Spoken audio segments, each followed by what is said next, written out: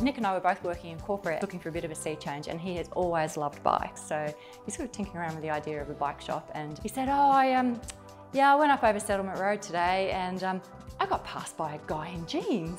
And a gentleman passed me like I was standing still, and I eventually did catch up to him at the traffic lights and had a quick chat to him, and he was actually on an e-bike. What have you got, mate? Have you got a motor or something? And the guy went, yeah. Almost 10 years ago now, um, but that was where the genesis of the idea came from.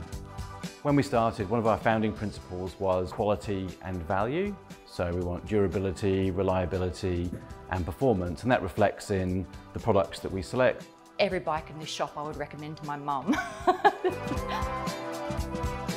One of the great things about e-bikes is the contribution that it makes to our environment. We're very keen to work with and we work with uh, manufacturers and suppliers who have strong ethical principles, good environmental policies. We get a lot of bikes delivered to us in cardboard, plastic. We recycle all of that. It's part of the ownership experience knowing that that bike that you've ridden has been engineered in an ethical way.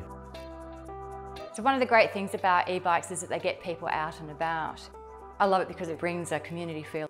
I know their last lockdown, so many people said that they met their neighbours out riding, which I thought was fantastic. We've done that in a small way ourselves through our EBB Owners Club rides. We used to start off, it would be a handful of riders and we would just go and explore. And now I think we had over 50 riders at the last ride. The e-bike scene has grown. So we've got customers that have been with us for 10 years and you can really see the impact that it's made. It's become part and parcel of their life. You know, lost 60 or 70 kilograms and, you know, doing massive big long tours around Australia, which they would never would have done before.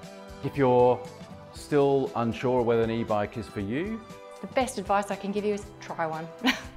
We're here to help you. We've got a great team of people. Everyone's very passionate about riding. They all love bikes, they know bikes, they all use e-bikes in different ways and they really, really love helping people. So our job is to narrow down this massive range of bikes down to the best option. That's what we're here for.